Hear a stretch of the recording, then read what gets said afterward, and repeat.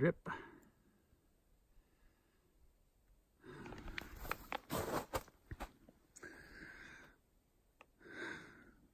Not very exciting, is it? No, it is.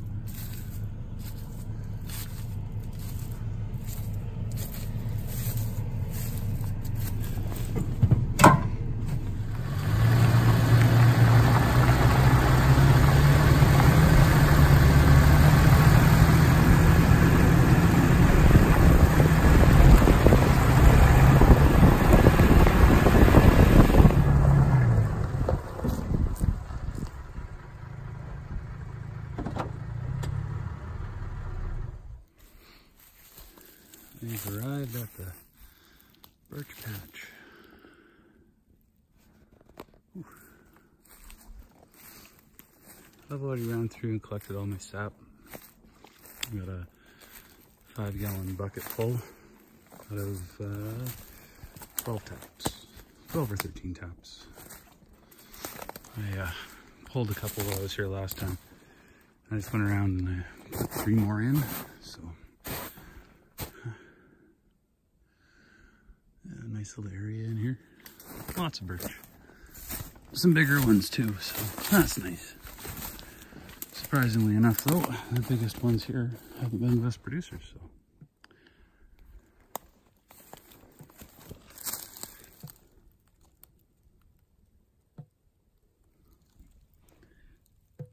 You can hear it dripping in the bucket.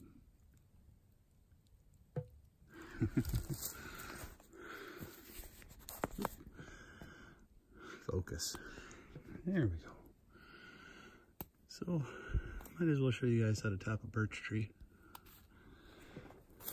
We got uh, one extra bucket here.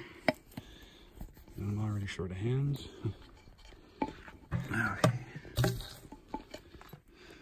You'll need some form of a drill. An axe is handy A piece of hose, a bucket or container, and a lid. Once you got all that, you're gonna need a birch tree. But not just any birch tree. See, this tree right here, if you look at the crown, it's kind of scraggly. It doesn't have a lot of nice leafy, well, soon to be leafy limbs coming off of it. So we want to find trees that are more like that one there with lots of branches. Something that looks like it's to really come to life. But I don't want to walk over there. I'm to walk this way instead. We've got a few good candidates over here. Maybe that one right there on the edge of the trail.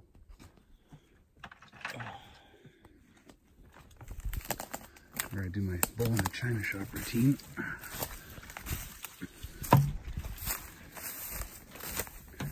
Now you can see the merit of using orange buckets out here. Unfortunately, it makes it way easier for everybody else to spot what you're doing. So if you're trying to not draw attention to your equipment, might want to pick a white bucket.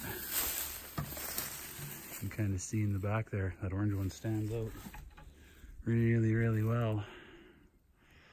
And there's two white ones behind it.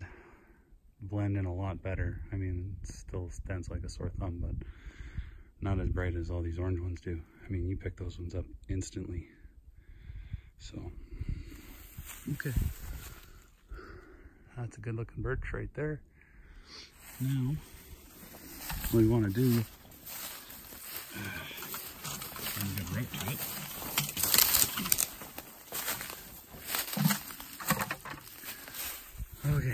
Our birch. Looks like a good candidate for a tap. Notice, so I'm facing, well, this would be north right now, okay?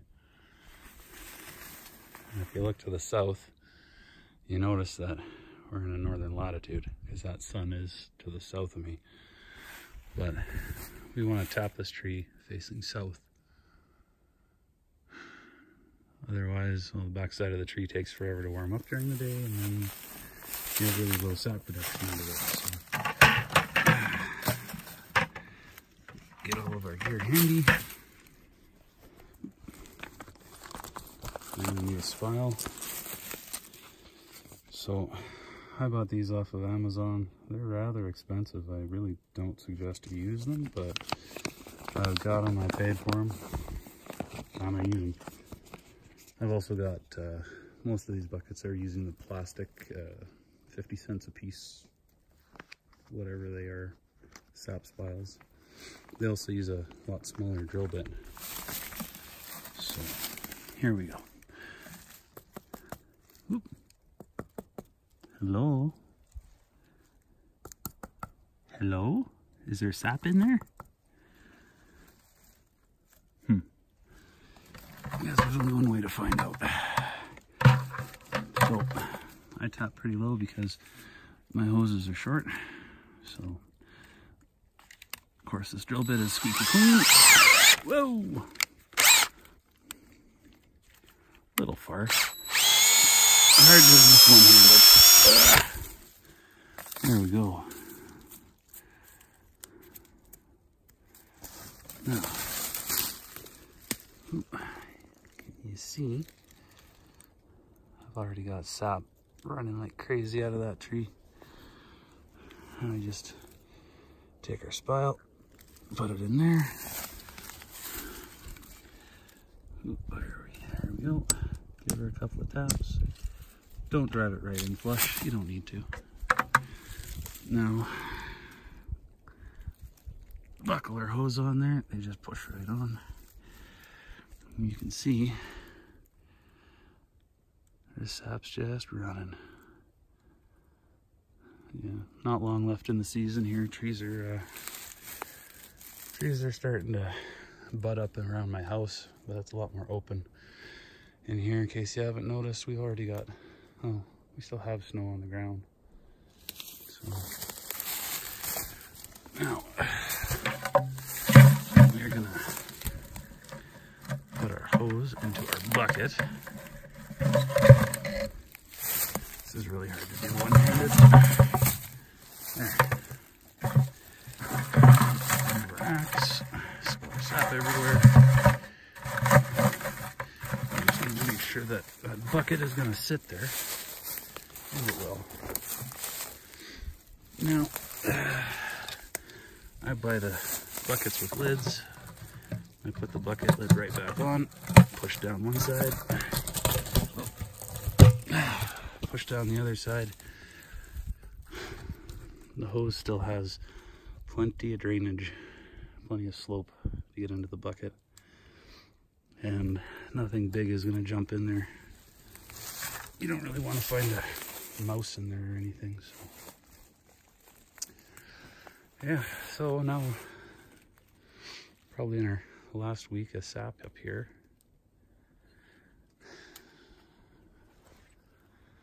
It's a lot of work.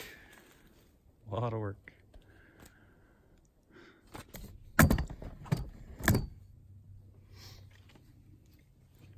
Let's have a quick look at the sap spiles that I used because they might generate some questions. So, so these are stainless steel spile. This is off of Amazon. I've seen them anywhere from I don't know, two dollars a piece to five dollars a piece, depending.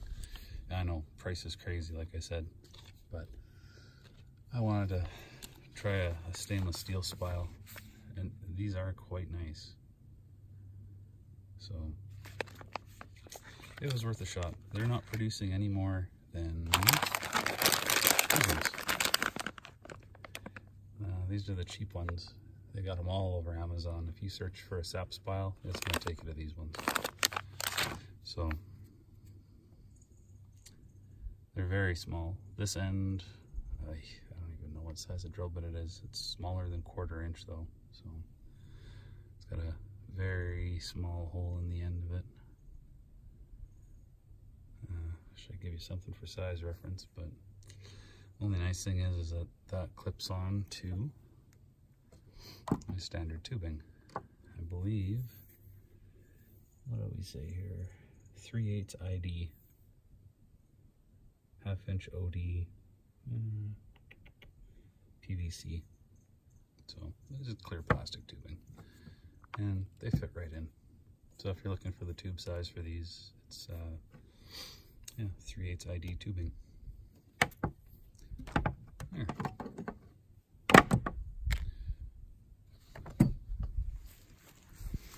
So here's the bucket of sap that we've collected. Boy. Let's see if I can set this stand up just a little bit better.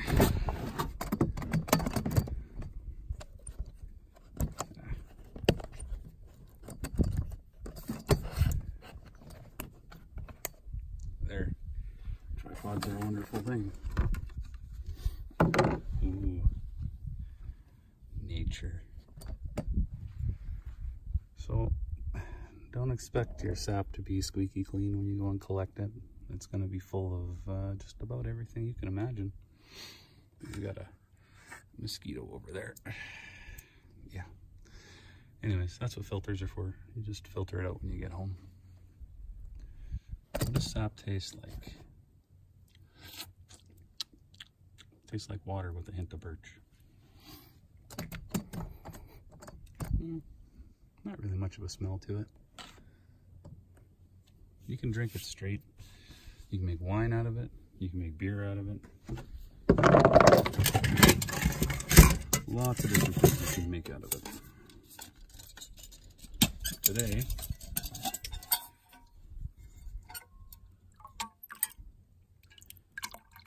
we're gonna make a cup of coffee.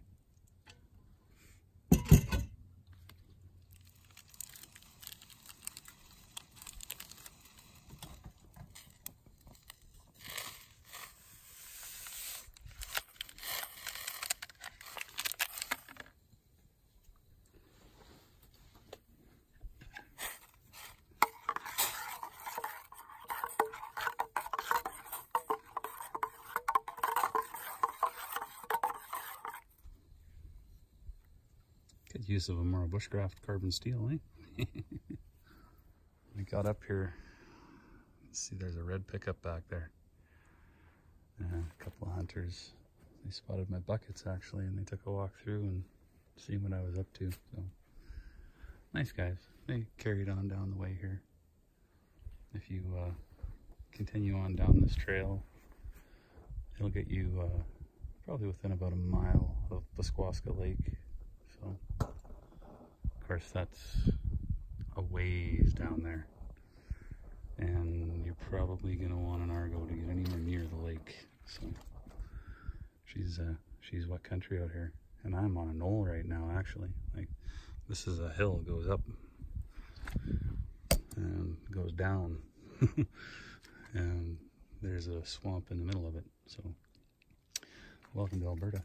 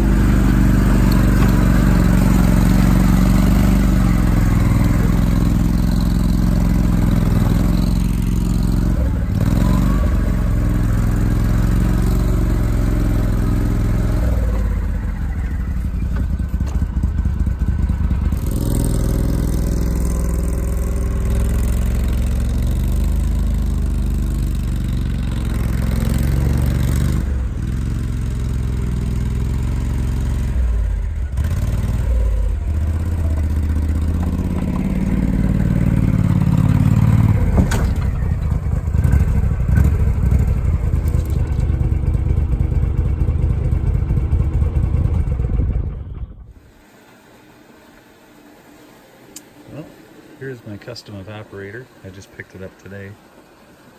Up until this point, I've been using just pots and pans.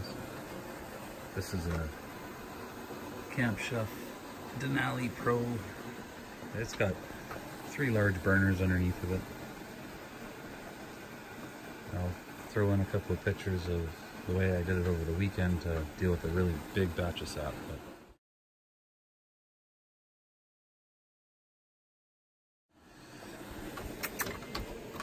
Say hi to everybody? Say hello, Willie. Yeah. Where's my food? so yeah, um, we're just gonna keep boiling this down and down and down. There's actually 20 liters in there right now. I could comfortably put 40 in here, but one bucket at a time is enough. That's the bucket I had full of sap there. So water boils at about 213 degrees Fahrenheit and the sugars in here burn at about 230 degrees Fahrenheit. So basically you can't burn it by boiling it until you end up with a high concentration of sugar in there and the sugar can hold more heat and it will scorch. So just keep your eye on it. Uh, I try to keep my temperature fairly low.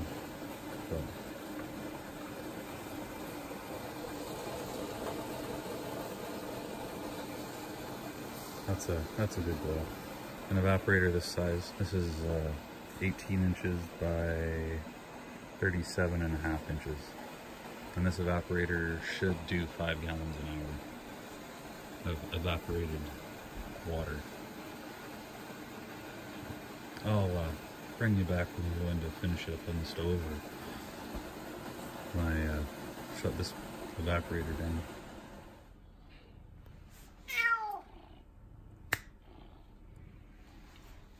Say hi, Asriel. Camera shy. So here's how I uh, finish boiling up my sap in here. Now it becomes syrup. So this is actually uh, from a 60 liter batch I did yesterday. I kind of got busy when I filtered that last batch and yeah, I just sort of forgot to film. So no worries. I picked up uh, 190 liters of sap off of my taps on the weekend and now I'm finishing everything up here. But this is three buckets or about uh, 60 liters worth of sap. It's all boiled down. Um, we're finishing in the stainless steel pot on the stove. The heat's a little high. We're just going to keep turning it down until it finds about uh, 200, 210 degrees. And we'll just keep reducing and reducing and reducing until we have our syrup. The way we know we have syrup is actually uh, we use a refract refractometer. Refract. So this is one I got off of Amazon. And it's actually for measuring the sugar content or moisture content of honey. And another quick and dirty way that you can do it. Boy, she just doesn't want to come down. Uh, just take a spoon, dip it in, and you'll see that it just instantly kind of runs off like water. So we're not syrup yet.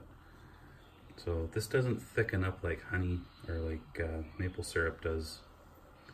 It stays pretty liquidy right to the end till you get about uh, 65 to 70 on the Brix scale. And that's what this measures is in the Brix scale. And to actually have a syrup and not uh, sweet birch water, you want about uh, 65, 66 Brix. I take mine to somewhere between 66 and 70, 72 Brix. So it's good and dry and shelf stable. This is what I have collected so far. This is from earlier in the season. It's really nice and light colored. And then the last batch got a little dark. And then from this last 200 or 190 liters I picked up, it's a little bit darker yet. So Yeah, when I was out on the weekend, I pulled all my taps and plugged all the holes. So we're we're done sugaring birch so far this spring. So we'll uh, take another kick at it next year. Do things a, a little, a lot differently. But that's a nice light syrup compared to our last batch. It's a lot darker, and that's actually sugar sand. It uh, when you when you boil at higher temperatures to finish, you'll start to get those sugar sands that precipitate out. So uh, good luck getting it out once it's in there. Maple guys use big, really expensive uh, presses, vacuum filters, and here we have a simple way. We just put it in the fridge, let that sediment fall out, and then pour the good syrup off the top of it. And you end up with a nice clear syrup, and it's a small batch, so it's easy to do that. Uh, if you had a couple of clean jars, you just, you'd figure it out. So, right about 215, I'll try to bring it down just a little bit more. The more water you boil out of your sap, and the closer it gets to being syrup, the faster it actually heats and the more heat it holds. So your temperature starts to go up and up and up and up and you have to watch it closer and closer. But this this has a long way to go. This is going to boil down to hmm, probably half a liter, so just over two cups is what I'm expecting to get out of this. And that should be just enough to top off that jar, maybe a little bit more.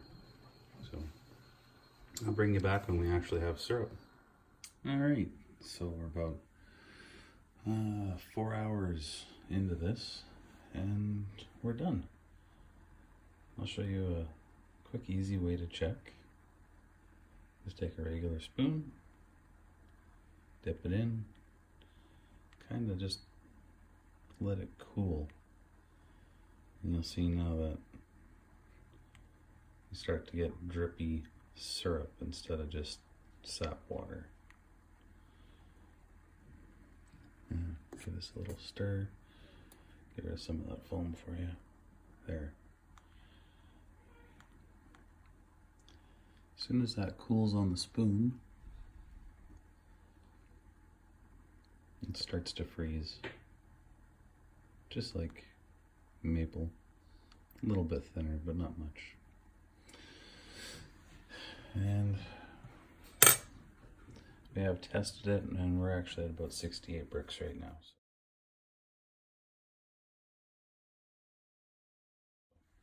We're where we want to be.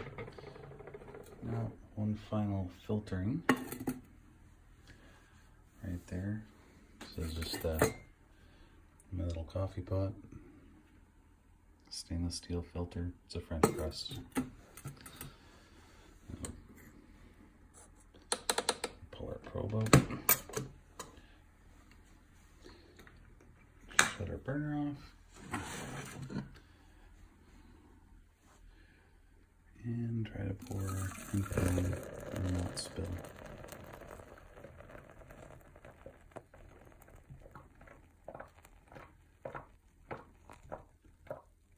That's actually a lot more syrup than I was thinking I was going to have.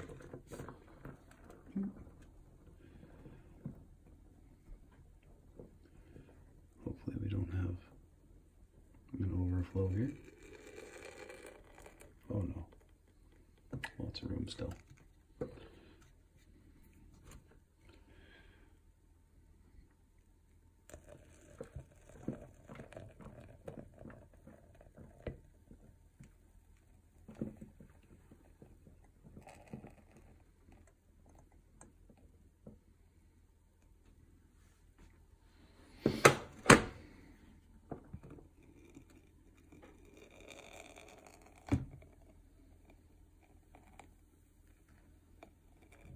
Just give that a little roll.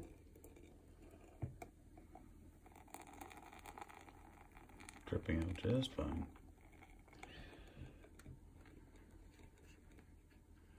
I'll let it finish dripping. let it finish dripping, and we'll put it in the jar. But hmm, that's how you make birch syrup.